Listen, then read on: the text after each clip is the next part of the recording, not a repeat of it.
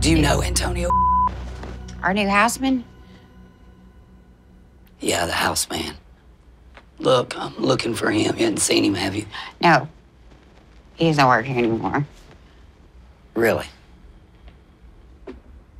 Well, he's run off from the halfway house, so he's not, you ain't hiding him out here or anything, are you? Lord, no.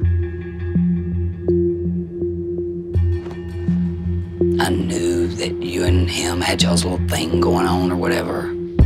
A thing? We have a thing? That smirk on your face looks like you're lying, is what that tells me. I don't know what to tell you. well, that's what it looks like you're doing is lying.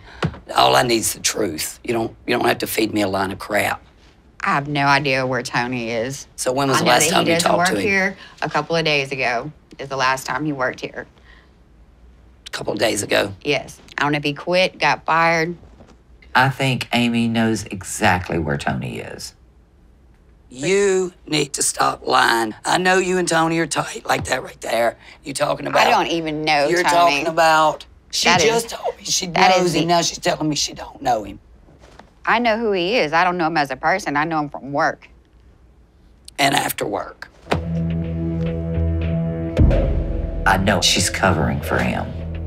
I know that he's here or you know where he's at.